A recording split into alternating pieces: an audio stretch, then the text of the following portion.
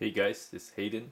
Welcome to my customized a little bit model of the F50 from Ferrari and I have had this model for a long time. It was made by Bburago and this was actually a self-assembled uh, diecast model and it's pretty rare these days so let's get straight to this I did a very minor uh, job on this car.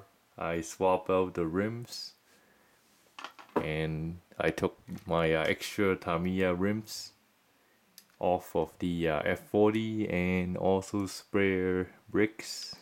So I had uh, glued those one in, those those ones in. I had done some coloring on the headlamps. Nothing really interesting going on in the inside it's very dirty.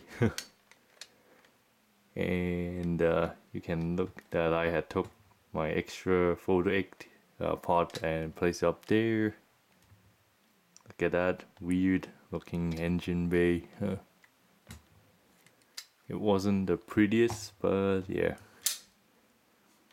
And uh, the only minor thing that is is that the front wheels look okay right? But then the rear ones is uh, way off whack but you don't get to see it from the behind. So but then again it looks really awesome with the uh, new rims.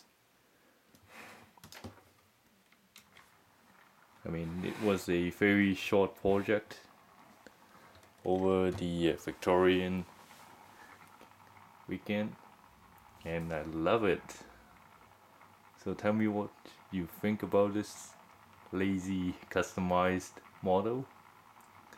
See you in the next video.